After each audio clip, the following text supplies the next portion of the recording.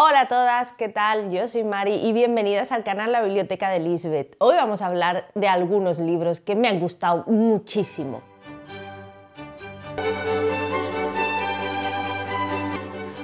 Hola a todos y a todas, ¿qué tal? Esta semana, después de un par de semanas de ausencia, vengo a hablaros de libros que me han gustado mucho, que me han gustado muchísimo, porque me he dado cuenta, revisando los últimos vídeos del canal, que había estado un poco hater, que nada más que os había hablado de cosas que no me habían gustado y bastantes cosas feas he tenido yo ya estas dos semanas, como para ponerme a hablar de penas ahora también. Así que vamos a hablar de libros maravillosos, de libros que he leído últimamente eh, algunos un poquito más antiguos, me había quedado en el tintero, pero que me han gustado muchísimo, porque si bien es verdad que últimamente la cosa ha estado chunga, em, sí que es verdad que ha habido libros que me han gustado un montón y de algunos tengo muchas ganas de hablaros y estoy muy emocionada. También me gustaría deciros que hay mucha variedad, o sea, aquí hay para todos los gustos. Hay ensayo, hay misterio, hay amor, hay de todo.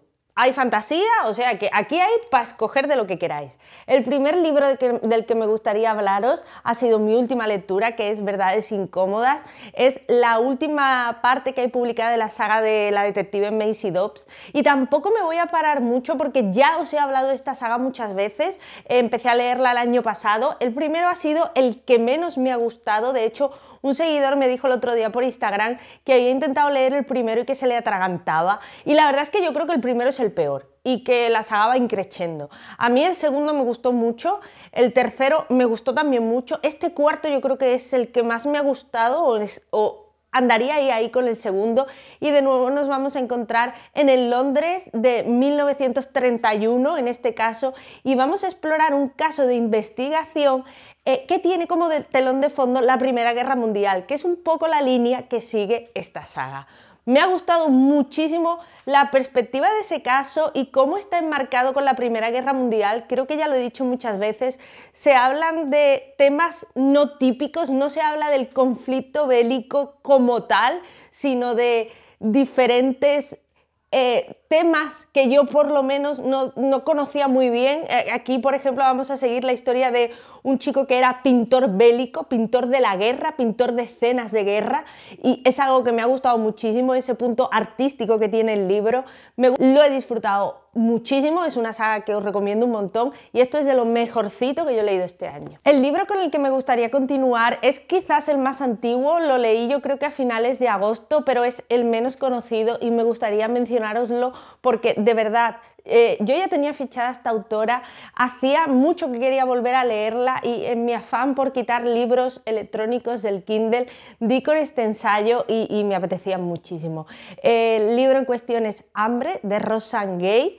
Yo ya leí a esta autora hace unos años con una colección de relatos que publicó Alianza de Novelas que se llama Mujeres Difíciles y aunque a mí no me gustan los relatos, fue un libro que disfruté mucho. Disfruté el libro sobre todo porque me gustó mucho la prosa de la autora. Es muy directa, muy bestia, muy sucia, no sé, es, es, es, es o la amas o la odias. Y la verdad es que ese tipo de prosa me gustó mucho. En este libro, En hambre, eh, la autora nos va a contar su historia con su cuerpo y su relación con su cuerpo. Ella es una mujer grande, obesa, muy obesa, y nos va a contar un poco eh, en retrospectiva, porque el libro empieza en un momento en el que ella está pensando en hacerse una operación para que le pongan un balón gástrico y adelgazar y de, a partir de ese momento en retrospectiva va a empezar a contarnos la historia de su cuerpo, la historia que tiene con su cuerpo desde que ella era una niña. ¿Por qué empezó a comer y eso la llevó a engordar mucho? ¿Cuál era la finalidad que buscaba engordando mucho, qué era lo que pretendía y cuál es el motivo de esa obesidad que la ha acompañado durante toda su vida. Es un libro desgarrador, escalofriante en algunos momentos, pero muy divertido en otros. En, en algunos momentos ella sabe reírse de sí misma y de la obesidad. Tratar a la obesidad desde un punto de vista para mí muy interesante. Yo es un libro que he disfrutado mucho, pero es verdad que es una autora que ya os digo, no hay medias tintas, o la amas o la odias.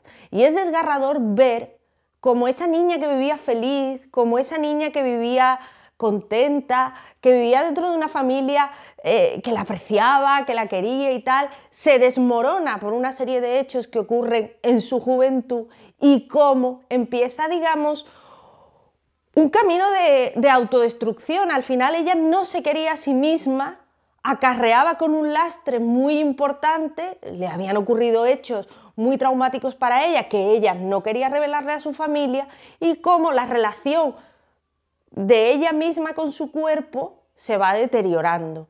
La vemos en su infancia, en su juventud, en sus años de universidad y vamos viendo también un poco cómo la escritura, la literatura, el teatro de alguna manera fueron su salvación y su manera de contar su historia y ayudar a otras personas. Es un libro que habla, ya os digo, de obesidad, de feminismo, es una autora, eh, tiene un ensayo que se llama La mala feminista, yo tengo muchas ganas de leerlo. Y ya os digo, es una prosa muy brutal, muy directa, muy sucia, no tiene adornos. Y en este caso, o sea, yo cuando la leí en el libro de relatos, eh, esa prosa me gustó mucho, pero si acaso lo ves como algo más despegado, ¿no? porque estamos hablando de ficción, pero en este caso, como está hablando de ella misma y de la relación que tiene con su cuerpo, es como mucho más impactante y mucho más apabullante esa manera que tiene de escribir. Está publicada por Capitán Swing. Eh, yo jamás he escuchado a nadie hablar de este libro, jamás he escuchado a nadie hablar de esta autora por aquí, por estos mundos de Booktube, y yo os la recomiendo mucho, aunque sí que es verdad que ya os digo, o la amas o la odias. El siguiente libro del que me gustaría hablaros es uno de mis libros más esperados de este 2023. Lo he disfrutado muchísimo, me ha encantado y ha sido Holly de Stephen King. De verdad, me lo he pasado muy bien leyendo esta novela. Además, me metí tanto en la historia que Stephen King me estaba contando que mm, contraje el COVID y la leí con COVID, porque esto está ambientado en el año 2020. Eh, no estamos en la primera parte de la pandemia, ya nos han vacunado, ya estamos algunos vacunados con Pfizer, vacunados con Moderna, y me gusta mucho cómo está ambientado el libro porque por desgracia hemos vivido esta pandemia y todos los que me estáis viendo tenéis recuerdos de esta pandemia, el momento en el que está ambientado es ese momento de confusión en el que ya estábamos vacunados, algunos con dos dosis, algunos con una dosis, eh, te pones la mascarilla, te la quitas, saludas, no saludas, desinfecto, no estás en ese momento que quieres salir ¿no? de, ese pozo, de ese pozo en el que estábamos, pero de alguna manera sientes mucho miedo. Y, esa está muy bien, o sea, yo me he reconocido en muchas cosas. ¿eh? Y, por desgracia he recordado muchos momentos y ese momento en el que está enmarcado el libro, ya os digo, está muy bien hecho. Esa manera que tenías de saludarte un poco con la gente, ¿no? ¿Estás vacunada? Sí, Pfizer o Moderna, Moderna, primera dosis o segunda dosis, está muy bien hecho. Em, vamos a seguir, bueno, que no lo he dicho, vamos a seguir a mi querida Holly, a Holly Gifney, el personaje que conocimos en la trilogía de Mr. Mercedes. Sabéis que es un personaje que me encanta, que me ha gustado muchísimo y me gustaría, me queda por leerme una novela en la que aparece Holly y me gustaría haceros un recorrido, un poco un vídeo, haciendo un recorrido por este personaje, porque de verdad creo, a falta de la novela que me queda, que los relatos y las novelas en las que aparece Holly eh, merecen mucho la pena. Primero la tenemos en la trilogía Mr. Mercedes, que es Mr. Mercedes, eh, quien pierde paga y fin de guardia. Luego la vamos a tener en El visitante, que es la novela que yo no he leído, que me falta, la tengo, eh, creo que la voy a coger por eBiblio. Y luego la tenemos en uno de los relatos que está comprendido en el volumen La sangre manda, que yo me lo he leído este año. Es una mujer maravillosa y aquí además vamos a conocer un poco su bagaje, su historia, su infancia, aunque ya nos han hablado un poco de ella, pero aquí vamos a ver, yo creo, un poco la fotografía, el resumen de toda la historia que hemos visto de Holly en un libro. Y vamos a ver la fotografía de este personaje, la fotografía completa de este personaje tan interesante y con un arco evolutivo tan bueno. A mí me gustó mucho escuchar a Stephen King hablando de cómo creó este personaje. Este personaje iba a ser un secundario y al final se convirtió en un personaje principal robaplanos porque es que es una mujer maravillosa. Además, nos encontramos con una mujer ya madura, tiene como 60 años en este libro y, tiene toda una historia que contar y tiene mucho que contar y le han pasado muchas cosas en la vida. Y desde que la conocemos al principio de la trilogía Mr. Mercedes, ahora hay un avance, una evolución. Es un personaje además que destila tanto cariño, no sé, yo, yo creo que, en ella ¿no? se, se, de alguna manera se ve el amor que tiene el escritor por ella porque es un personaje muy completo y muy bonito. ¿Puede leerse suelto? Sí, pero el libro está hecho para que, aunque tú no hayas leído el anterior, no te pierdas, ¿no? Y en algunos momentos eh, te explica y te cuenta. Pero yo sí que creo que es mejor leer lo anterior y llegar a esta novela. Es un thriller muy puro, es un thriller de persecución, no es una novela de, fantasía, no es una novela de terror con fantasmas, o sea, porque lo que pasa da mucho miedo, pero, pero está muy bien. Es verdad que es un poco lenta.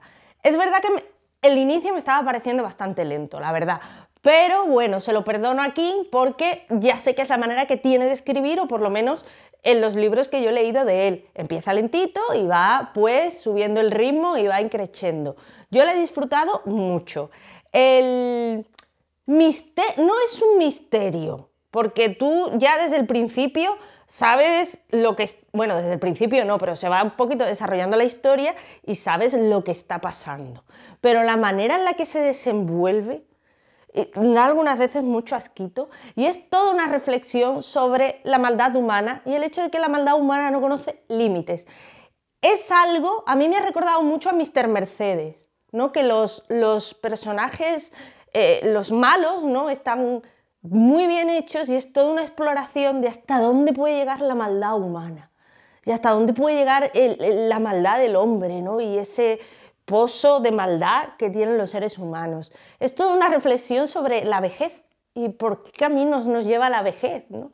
Y también me ha gustado mucho la crítica brutal que tiene a Trump, a los años de presidencia de Donald Trump, a los antivacunas y al racismo. Es un libro que habla mucho de, de racismo y de los asesinatos eh, a personas de color por la policía, los ataques eh, a personas de color por la policía en Estados Unidos. Es algo sobre lo que el libro también reflexiona mucho. Es un libro que habla también de escritura, del proceso creativo. Hay personajes en el libro que están escribiendo, que están descubriendo su lado de escritor y es algo que me ha gustado muchísimo. Me ha parecido un libro pues con una historia ahí que, bueno, que en algunos momentos te ponen los pelos de punta, pero también me ha parecido un libro más entrañable, porque, muy entrañable, porque no solamente recuperamos a Holly, sino que también, por ejemplo, recuperamos a Jerome y a su hermana y a personajes que hemos visto en las entregas anteriores. Y ya os digo, el tema COVID me ha gustado mucho encontrármelo, eh, me ha transportado mucho a esa época, no es una época que me guste demasiado recordar, pero, pero bueno, creo que está muy bien tratado y, muy bien hecho.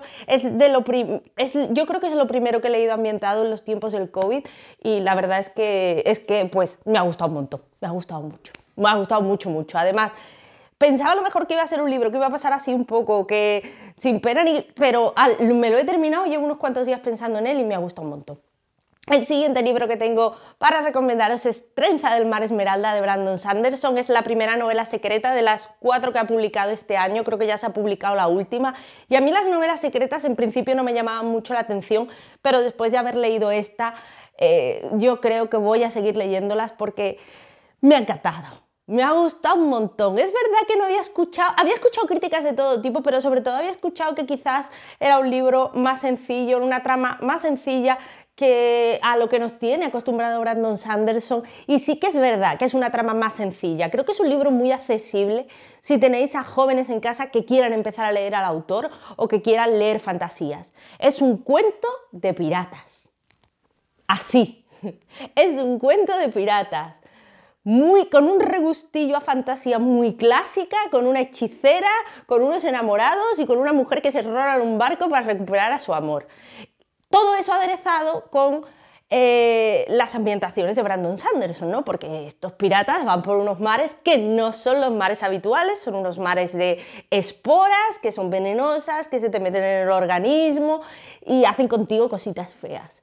Nos vamos a encontrar un montón de personajes muy variopintos y muy entrañables en esa tripulación y sobre todo Trenza, la protagonista, es una mujer que inicia un viaje al principio del libro que busca una cosa, va buscando una cosa, va buscando rescatar a su amado, pero se encuentra muchas cosas por el camino, eh, sobre todo a ella misma, y, es una gran protagonista. Es verdad que es, una protagonista quizás que no tiene un desarrollo tan elaborado como otros personajes de Brandon Sanderson. No es plana porque evoluciona mucho, pero su evolución, digamos que es la que te esperas, ¿no? De, una heroína, ¿no?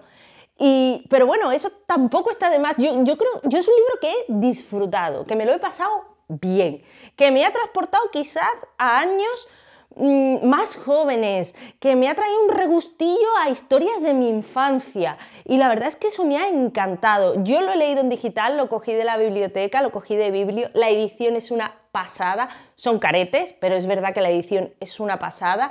Y, de verdad, o sea, me ha gustado, tiene el, sello de Sanderson, yo creo un poco en la ambientación, pero la verdad es que a mí me ha resultado muy entrañable verle pues en una historia más sencilla, ya os digo, en una fantasía pues muy clásica, en un planteamiento de historia de fantasía muy, muy clásica. Él se inspiró un poco viendo la, princesa prometida, así que si os va la princesa prometida, yo creo que a lo mejor eh, os va a gustar esta historia. Él ve la princesa prometida ¿no? y se plantea algunas cosas que él mejoraría o cambiaría, esto estaría mejor, y a partir de eso crea esta historia. Yo la he disfrutado muchísimo, me ha gustado un montón y de verdad, o sea, os la recomiendo eh, mucho, mucho, mucho. Sobre todo, ya os digo, creo que si tenéis a jóvenes en casa y que quieran empezar a leer fantasía, creo que está muy bien. Yo desde luego a Sanderson escribiendo para jóvenes, eh, a mí me encanta. Y para ya no tan jóvenes, sino incluso más pequeños, porque yo os he recomendado mil veces la saga de Alcatraz, que me parece una maravilla, Alcatraz contra los,